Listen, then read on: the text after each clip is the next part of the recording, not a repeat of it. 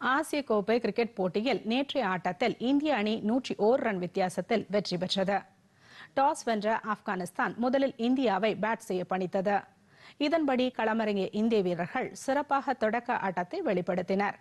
குறிப்பாக விராட் கோலி நீண்ட இடைவெளிக்கு பிறகு அறுபத்தோரு பந்துகளை சந்தித்து நூற்றி இருபத்தி இரண்டு ரன்களை குவித்தார். நிர்ணயிக்கப்பட்ட இருபது ஓவரில் இந்திய அணி இரண்டு விக்கெட் இழப்பிற்கு இருநூற்றி பனிரெண்டு ரன் எடுத்தது.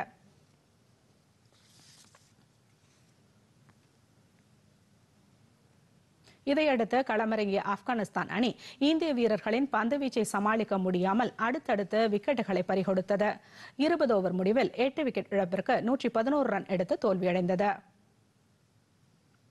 துபாயில் இன்றிரவு ஏழு முப்பது மணிக்கு நடைபெறும் ஆட்டத்தில் இலங்கை அணியுடன் பாகிஸ்தான் அணி பலப்பரீட்சை நடத்துகிறது.